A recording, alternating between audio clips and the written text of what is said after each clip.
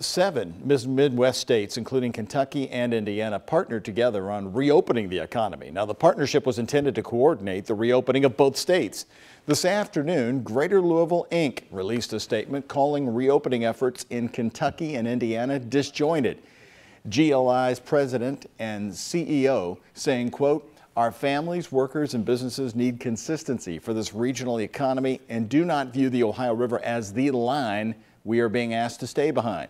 GLI is calling on Governors Beshear and Eric Holcomb in Indiana to identify coordinated solutions between the two states to ensure that Greater Louisville is best positioned for a good, smooth reopening.